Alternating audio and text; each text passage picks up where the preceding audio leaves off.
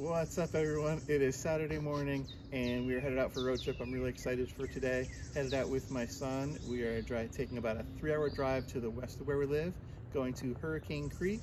I have never been to this trail, but I know from what I've seen, it has a little bit of everything. It has some mud, has some rocks, has some water crossings, and so I'm really excited to check it out. And we are actually not going alone today, and I'll tell you more about that in a minute.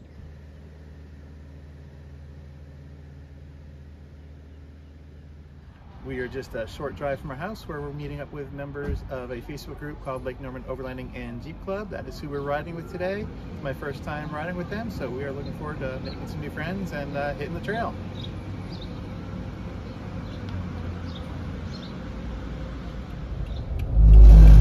For anybody who doesn't know, the entrance to Hurricane Creek Road is a sharp right turn directly off of I-40, so be sure not to miss it.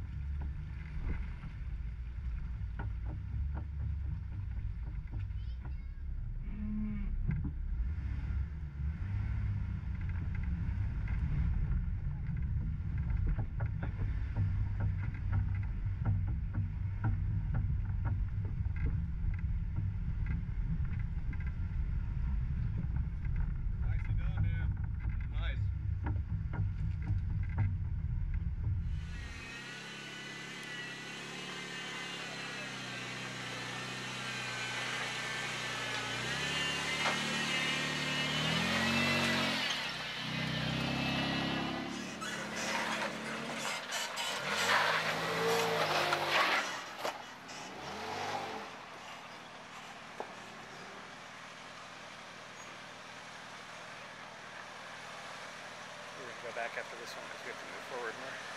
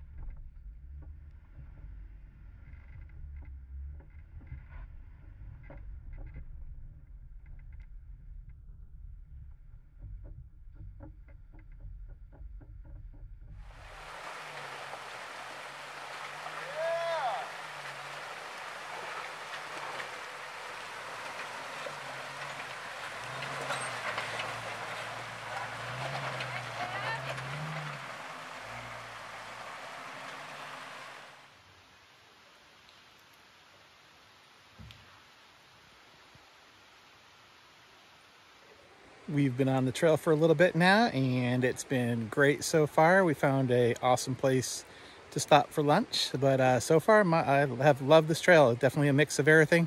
Uh, some water, some steep climbs, some rocks, some mud. So uh, it has been really great and we're gonna get back to the trail soon.